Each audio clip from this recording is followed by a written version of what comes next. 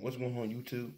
Beretta19 back with y'all with another video. If you're new to the channel, please like, comment, subscribe, hit your notification bell, drop as many comments as you can down below. Like and share video. It's gonna be a short video, you guys, but I am gonna get you know straight into the topic. And that topic is buying a used car versus a new car. Once again, buying a used car versus a new car. You guys, I'm sure you've seen many times many ads and stuff on TV and here on radio, here on radio and everything. People talking about, you know, put a thousand down on this car, put three thousand down on this car. This car costs this much. You can get this deal and everything. me tell y'all from experience. Okay. First and foremost, understand something. When you buy a used car, when you buy a used car, excuse me, what ends up happening, you buying a car and everything that has some experience. It's been through some snow, some ice, bad weather, some breakdowns, etc., etc. But understand something. this is why I prefer a used car over a new car. Hold on one second, I gotta grab something. Sorry about that, y'all. Just got me some water. Um, and like I said and everything, when you buy a used car, understand something. You're dealing with the um with a car, like I said, it's been through some things. Also, if you buy it, you know, cash out, say three to seven thousand dollars. Understand this. You're gonna have some bumps in the road with it. You to put new parts on it. May need to change. But remember, you own that car now. You own it. And there's many different ways you can use that car to your advantage. Many different ways. And what I need for you guys to understand, getting a used car is not the terrible or worst thing in the world you can do. Personally, I prefer, like I said, to get a used car. Because like I said, it's you will own it quicker. Okay, in some cases, depending on how much money you make. Now, also, when uh, having a used car and everything, which you also can do, you can use it if you need it. If you need it, you can use it for a title loan. Okay, you know, get a little money in your pocket. I don't recommend it. I don't recommend it, but I'm saying you could and you can do other stuff with it. You know, make extra money or turn your little truck or a pickup truck. you can turn it to a snow plow and hustle or whatever you want to do there. Or turn it to a little moving thing. Who knows?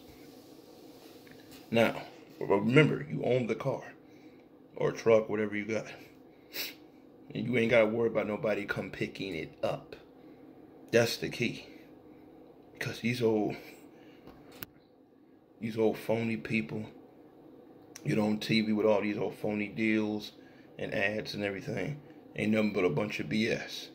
They're false advertising. Let me give you the real deal, like I always do. Now you go buy a new car. The new car smell. It's beautiful. Oh, this is my dream car. Oh my God. Okay. Here's the problem. Got a car? note. Gotta pay uh, insurance.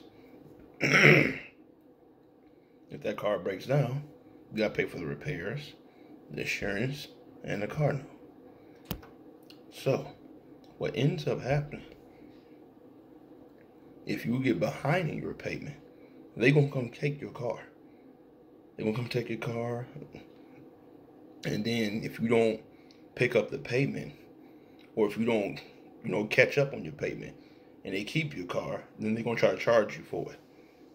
They're gonna try and charge it, resell it, and go charge you for it. You don't want that on your credit. So I'm telling you, think twice before you go jump and buy a new car trying to keep up with the Joneses. Okay? That's no disrespect to nobody last name Jones. Just a figure of speech, you know what I'm saying? In other words, trying to keep up with, you know, the high class people. You don't need to do that. Let's get you a vehicle that work right, get your vehicle that run right, get you a vehicle that's, you know, to your liking. Got some nice little appeal to it, and go from there.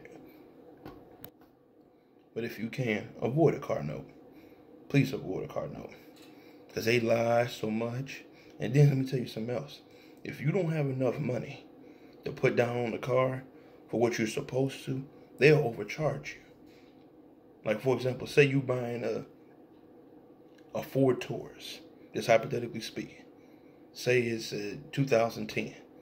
If it's originally eight thousand dollars that you have to put down, just originally now, if you can't come up with the full 8,000, and it's 8,000 out the door, if you can't come up with the full 8,000, how they get their money on you and get the scheme going, they'll charge you $1,800. Excuse me, 18000 sorry. $18,000 or 15 or 17,000 or even some cases 20 because they blow up to the interest. Remember, these people are trying to make money. They try to tell about they giving you the best deals and all that and everything. No. The best deal you can get when buying a car, the best deal you can get buying a car is paying buying one cash out the door. That's the best thing you can do. Because dealing with these people, they come pick your car up, no matter where you at, or they'll try to turn your car off and everything. That's something else they'll do. They turn your car off, or they'll come pick your car up. You can be at work and everything. And you don't miss the payment. Well, I don't care if it's one payment. You miss the payment, they be so quick to come take it. So all that riding around, I got me a 2020 Denali or a 2020 Tahoe, 22, 22 Tahoe, whatever. Whatever the new car and everything. What good is that you paying five, six hundred dollar car note plus insurance? What good is it? Now if you if you have the money you can afford that, that's one thing.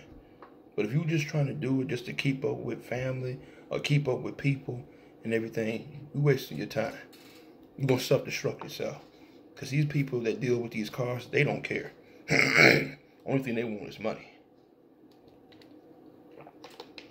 Don't care nothing about you, where you work, or nothing. Remember I told you, they will come get your car, even if you at work. You had a soccer game or basketball game with your kids, they come get your car and they would tow it away. And they'll tell you you should have paid to know. So why be bothered with that headache? Get you a car and pay it off. If you need fixing, if you want to hook it up and detail it, you can. I mean, but remember, you will own it. You will own it. A lot of people be trying to tell me, go buy a new car or get a 2020 and everything. I don't need that shit, man. I don't need it. What I need it for? I ain't trying to prove nothing to nobody out here. If they don't like me now and everything, if they don't like me rolling around, let me teach y'all something.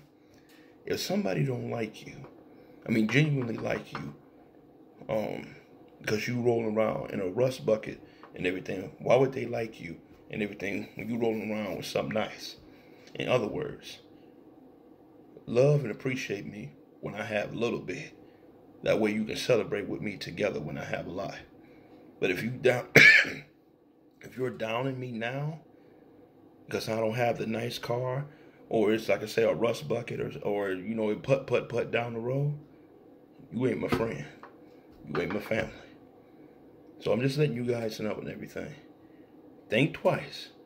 I mean, everybody's different. Everybody got their situation. Everybody make different kind of money. But think twice before you go jump out there to get a car note. Think twice. Like I said, the preferred method, buy a vehicle cash out. Where you ain't got to worry about no car, worry no car note, worry about um somebody come picking your car up and everything else. I've seen it happen. One lady was running after her car. She was at work. And I, he called and told the people, said, let me, you know, I had some incident with my son or something like that and she told the people to give her more time. And they didn't they didn't care. They don't care. Remember, it's all I keep telling you, it's all about the money. That's what that's what this, this world that's what how this world is. They all about the money. I don't care what lie I got to tell. I don't care what false advertisement I got to show you. They all about the money. And that one was running after the car and everything. It, was it was crazy. I'm just letting you guys know.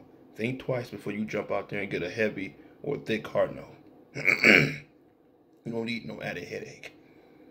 You don't need nothing that's gonna keep you up at night talking about how I'm gonna pay this car. No. Are they gonna turn your car off? Are they gonna come repo it? And remember, when they repo, it goes on your credit. They're gonna make sure that. So always understand something. If you feel that you over your head before you before you get into it and everything, don't do it. Well, you want I want something nice and everything. Then wait till your money catch up with something nice. Wait till you can walk in there and say, "Bam, that's thirty thousand on the table. Give me that car, pay it off, no questions asked." Until then, get you something nice and everything that you can afford. Stop living over your means. Remember, when you get water over, please understand something. When you live, you know, you live, you know, right on your means or below your means, you can keep your head out the water. You can still breathe. But when you live over your means, you drown. Because now the water that got over your head. And it's filling up your lungs and you're going to drown. Don't do it. I don't care what advertising, they can dance, do all these stupid commercials and everything. They ain't doing nothing but lying. Because if you miss the payment and everything, they come to take that car, they're going to turn it off. And if you don't pick that car note back up, everything, they will hit your credit with that. And you don't need that. So think twice before y'all get out there. It's Beretta 19. Be blessed. Be blessed. Sorry about, you know, some of the coughing, you guys. Everything. I'm still, like I said, still, you know, recovering a little bit, but I'm okay. Everything ain't like it used to be, I tell you that. But I'm just letting you know. Real talk, y'all. Take it a man who had a vehicle re uh, repossessed. You don't need the headache. You don't need nothing keeping you up at night because you can't pay it. Be careful how you spend your money. Make good and sure that this car I'm finna purchase, I can afford it. I can take care of it if it breaks down and still take care of the insurance and a car note. If not, buy it out cash. I don't care what people say. I don't care what your family say, what your friends say. Remember, they ain't the one that got to pay for it. You do. So keep that in mind. Don't get into a car note and everything. Listen to what family and friends talking about and everything. They be the very ones they won't help you. You should have thought about that before you got the car. But you the one that told me go get it. So I'm just telling you and everything. Please be cognizant of that. Don't go jump into no car note if you can't afford it.